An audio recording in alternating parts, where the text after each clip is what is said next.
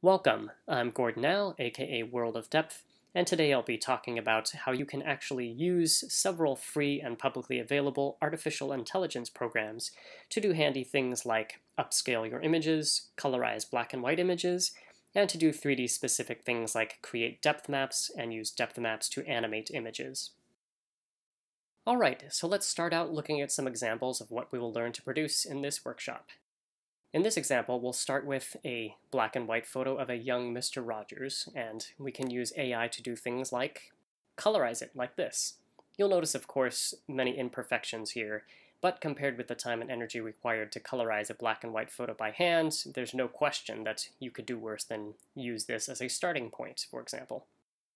We can also use AI to convert this into a fully 3D stereo pair, such as this. When I show these four image panels, by the way, the cross-eye view will be on top and parallel view on the bottom. We can also use AI to convert this into an animated stereo pair. And here's another example. If we start with this photo, we can produce an animation like this one. Notice that although this animation itself is 2D, it is based on an underlying 3D model. So let's look at a flowchart that will show the various programs and AIs we're going to talk about today and what they allow us to do. So first, if we start with a stereo pair, you probably already know that we can use Masuji Suto's Stereo Photomaker and Ugo Capeto's DMAG program to create a depth map from that. Now, importantly, it gives us both a left and a right depth map, or what we might call a stereo depth map. So for example, if we start with the image, the stereo photo shown above, and by the way, for these three cross images, it will be cross-eyed on the left and parallel on the right, we can produce the depth map shown below. I've rendered these depth maps using the Inferno color map palette to better appreciate the details, and I also edited a little by hand, but nonetheless, that's what you can produce. Once you have that depth map, there are many things you can do. For one, you can take either the left or right original image plus depth map, feed it into SPM, and produce a new stereo pair with adjusted depth. For example, you could take the following somewhat shallow stereo pair and deepen it like so, accentuating the pop-out effect. This is handy with stereo photos taken by devices with pretty narrow interoculars, like the old LG Thrill, which is what I used for this picture, or the Red Hydrogen one. Conversely, if you had a stereo photo with substantial depth and you were preparing to show it via projector, you might produce a shallower stereo pair using the same methodology. Here, by the way, is the depth map from SPM and DMAG that I used to produce this effect. Another thing you can do is use Stereo Photo Maker or Photoshop to apply a selective background blur. For example, with this stereo photo, which arguably has a distracting background, you can blur it slightly like this. And this was accomplished using this depth map, which is not perfect, but suffices for this effect. Note that to get this effect in true 3D, you need to use the left depth map to blur the original left eye image and repeat the same for the right. There are many other potential applications, but the final one I'll talk about here is using the AI called 3D Photo Inpainting to create a stereo animation.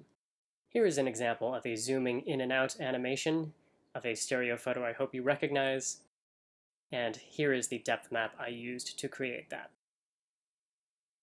So that's what we can do starting with a stereo pair. But one of the most crucial things that artificial intelligence allows us to do is to do many of the same things but starting from an ordinary 2D image. As before, the first step is really creating a depth map, and now there are many artificial intelligence programs that will do this. The first one that was widely available that I tried is by Google. The second one is called MIDAS, which stands for Mixing Datasets for Zero-Shot Cross-Dataset Transfer. And the third one which is so new it didn't even make it on this flowchart, is called LERES, L-E-R-E-S, which stands for Learning to Recover 3D Scene Shape from a Single Image. I'll also talk about boosting monocular depth, or BMD here, which is essentially an algorithm that improves MIDAS and LERES. Here's an example.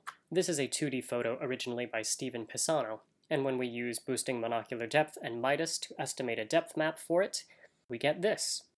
You might notice some small imperfections like the spires of the building leaning too far forward, but the amount of detail and the general accuracy is pretty astounding. Once we have this depth map, we can do many of the same things as on the stereo pair track above. We can't really do the depth adjustment because there's no depth to adjust as this is still a 2D image, but we can use Stereo Photomaker or Photoshop to apply a background blur. For instance, we can take this photo and change it to this. You might appreciate it already, but really the primary reason modern camera phones have depth sensing technology is to do precisely this, in other words, to simulate a shallow depth of field for portrait photos. Here is the depth map from BMD and Midas that I used for this effect. In addition to background blur, we can, as before, use the 3D Photo Inpainting AI to create an animation, albeit a mono animation. This animation I showed earlier was produced this way. And here's the depth map behind it.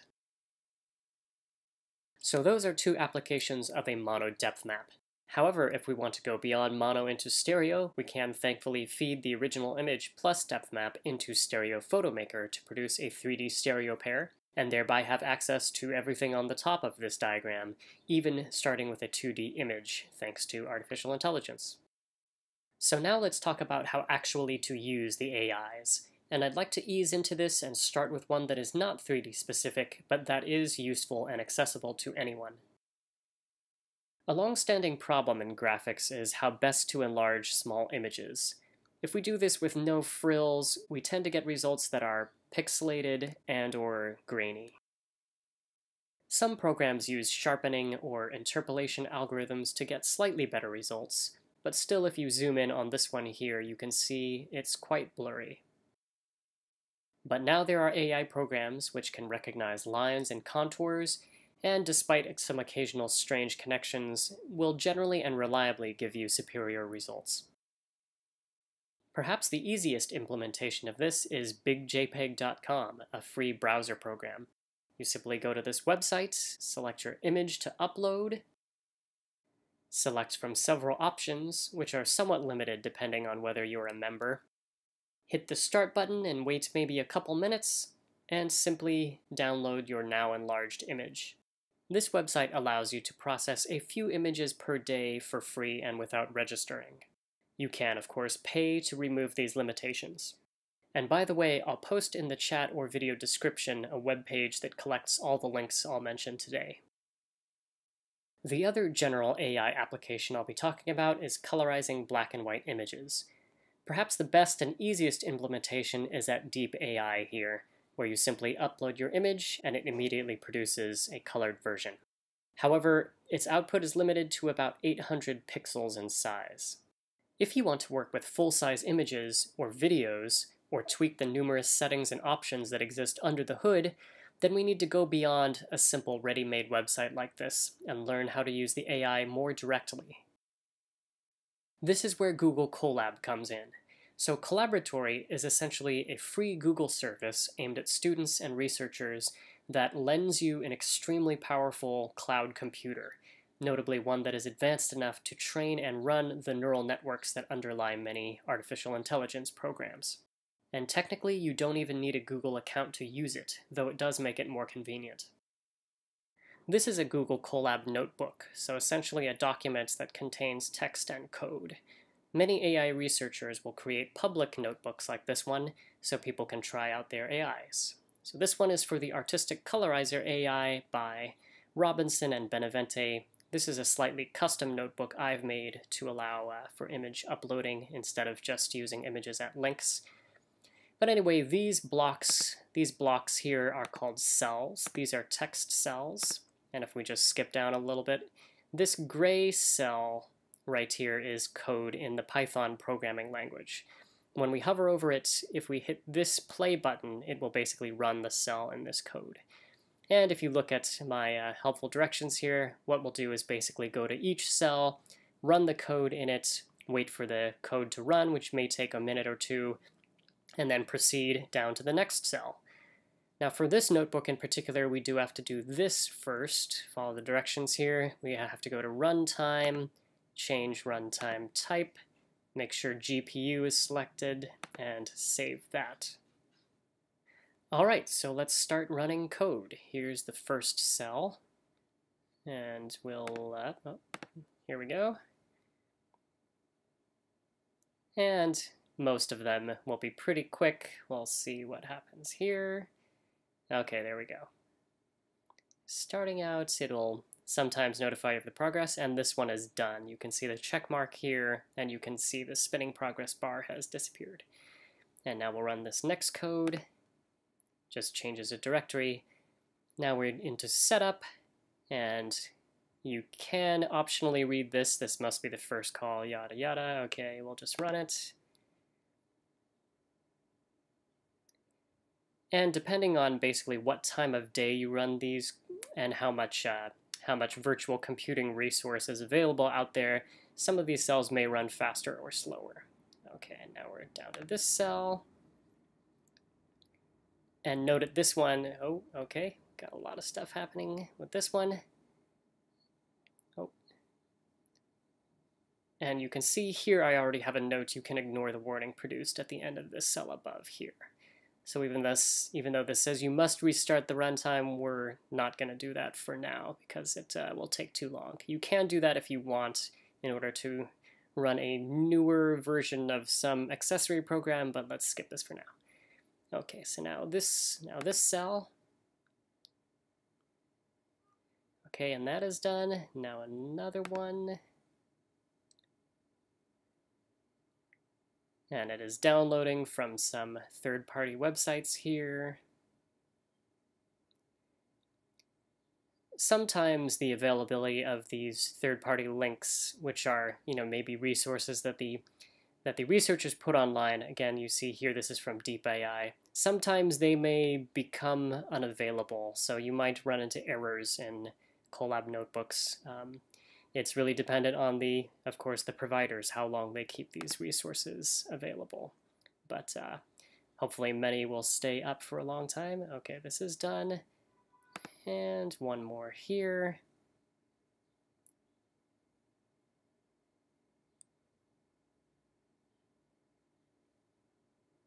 And this will be the only notebook that I show you in real time, just to walk through, uh, walk through one at least. And we'll see, this one should be, okay, all done here. And now let's go down here. Alright, so now I'll be following these instructions below. You can read through these as a reminder if you use this on your own, but I'll just go through the steps. So what we'll do first is click this folder icon on the left to open up a look at our files. Hovering over this deoldify folder, I will click on the three dots and select a file to upload. Now I've already done that, but what you would do next is click on this triangle to open up the deoldify folder, navigate through here to find the image you just uploaded. In this case, here is mine, 2.jpg. Hover over this, click the three dots again, and now select copy path, which is basically the location of your file. Then we can close this if we want. Then we're going to come down here to this colorized cell and paste the text that we just copied in here. And it should start with slash content slash deoldify blah blah. So this is my file. And now we simply run this cell and you can uh, you can change these settings. There's some info on what the settings does uh, above here. You can also turn on or off a watermark. But here's what happens if we just run this it will process for a bit. And again, this will depend on oh, resources available, but then it should uh, show you your picture right here. And here's a comparison with the original. Now, if we want to save this directly, we can simply right-click, and go to Save Image As, or whatever the equivalent is in your browser. And there you go. There's the first Colab notebook we've used. Now, one note, if you're using multiple different Colab notebooks, uh, and in general, it's a good idea after you're done using it to go up here to Runtime, to Manage Sessions, and to terminate your session. So you stop using this virtual computer they've loaned you. If you do not do this, you will not be able to open additional notebooks sometimes, and also sometimes Google Colab will complain about you opening too many sessions. Alright, so those were a couple general use AIs. Now let's go on and talk about some 3D AIs, starting with BMD, which is the first one you would use when working with a 2D image. Alright, so here is the Google Colab notebook for boosting monocular depth. This is basically an algorithm which increases the detail of depth maps produced by Midas and LeReS. To run this, we're going to follow the instructions here, uh, starting with changing the runtime type to GPU as we did uh, with the last notebook. Then on step one, we're going to run code section one, the first cell in gray there. Then on step two, for putting your test images inside content inputs, we're going to click on the folder icon to the left as we did before to open up the files. Then we're going to hover over the inputs folder and click on the three dots that appear to select upload. And again, we can expand the inputs folder clicking on that little arrow, that little triangle to the left to confirm our files have uploaded successfully. Our next step will be to run code section 2, which will load various files for the AI. And finally, in the third code sections, we can choose to either run this method using Midas or LeReS, or both if you do one after the other. No matter which you run, the output will look something like this. So basically this BMD algorithm divides your original image up into several patches depending on where it thinks there is the most detail. It processes each patch individually and then reassembles it. You can find the depth map outputs in these output folders to the left here, saved as PNG files, which you can then download. As far as which is better between Midas and LeReS, I think they really have different strengths and weaknesses. So Midas was trained primarily on sets of photographs of people, so I think it does better overall with shots of people. However, as you can see here, it has flattened Mr. Rogers' nose a little bit, uh, though it does a better job of keeping his ears connected to his head, uh, as you can see with the LeReS version. Meanwhile, LeReS does a better job at picking out background details, as you can see perhaps with the dimensionality of that bush at right compared with how flat it is in the Midas version. Uh, however, LeReS, I think, can be overactive. If you have a picture of someone wearing clothing with a graphical print on it, or if you have photographs or artwork hanging on a wall, it will go after all of those and try to make all of them 3D. Fortunately, it's pretty easy to test both on any image you'd care to try, and then you can test out the results using Stereo Photomaker or Ugo Capeto's Depth Player, etc. I should note here that these AI depth maps will always have flaws, always imperfections, and whether or not you want to take the time and energy to correct them by hand, I think really depends on your purpose and the final product you have in mind. Editing and correcting depth maps, of course, is the topic for another workshop. But, for example, applications like producing a 2D animation or applying a background blur to a stereo pair are going to be much more forgiving of small flaws in the depth maps than, say, producing a 3D stereo pair or a stereo animation.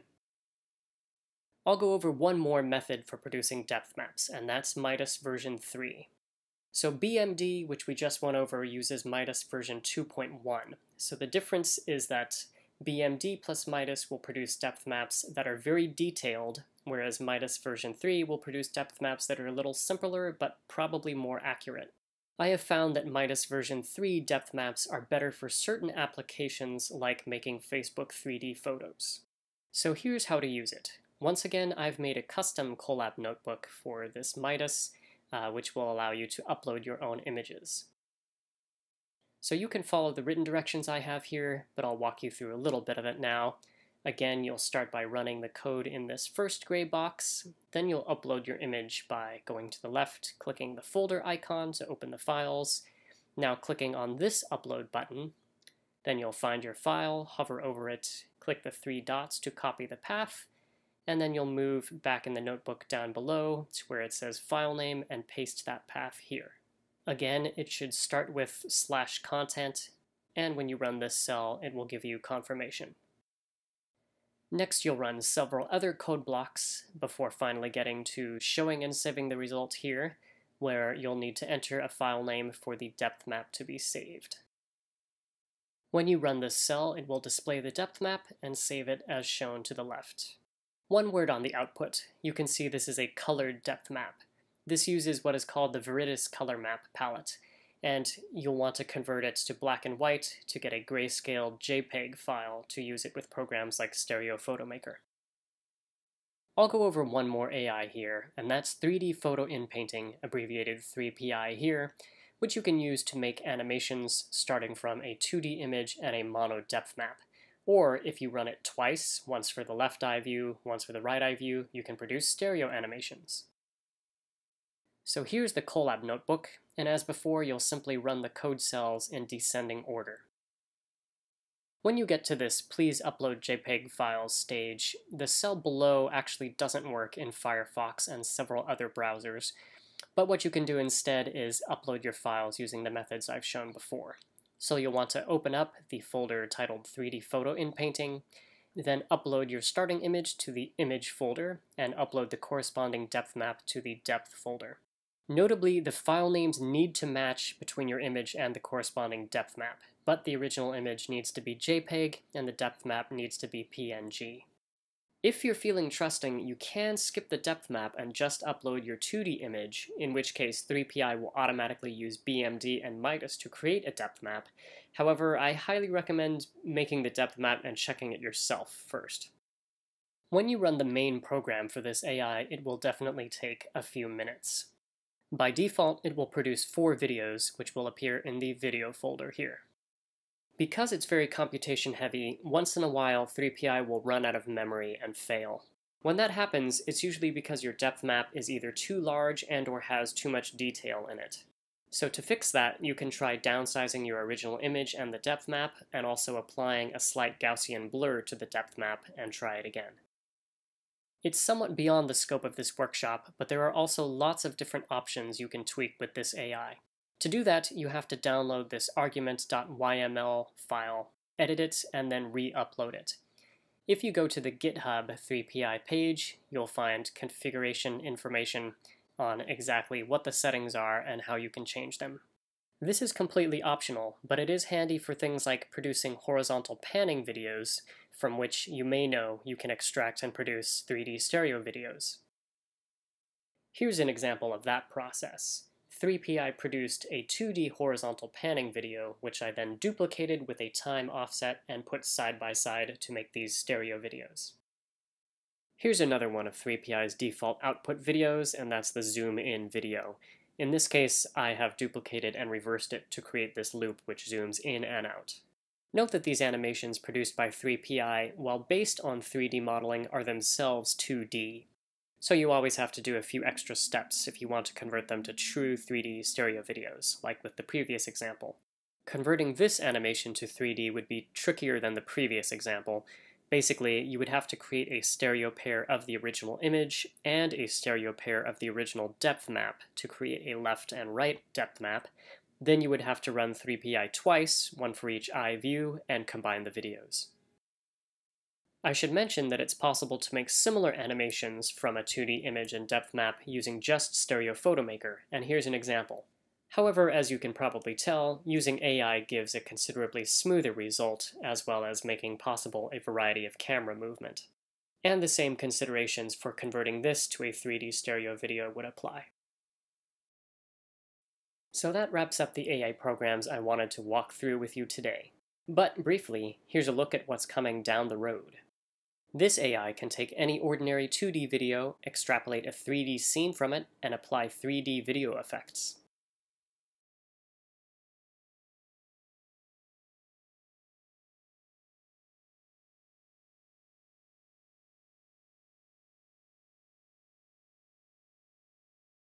Meanwhile, this one, which promises space-time view synthesis, is even more amazing.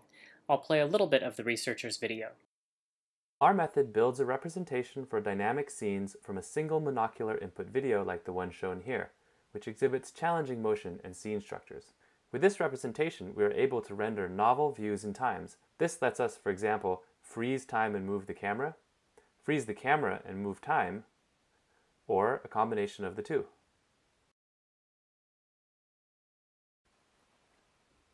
Our method only requires a single view and can therefore be used on natural videos collected in the wild as long as camera pose can be extracted, for example using While our method does not explicitly compute depth maps, we can visualize the expected termination depth of each ray, which gives us some indication as to the reconstructed scene geometry, shown here.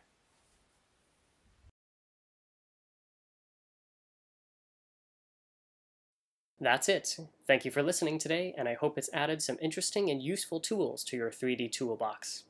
I think the future for 3D AI, barring any unforeseen complications, is quite bright, and I'll see you there.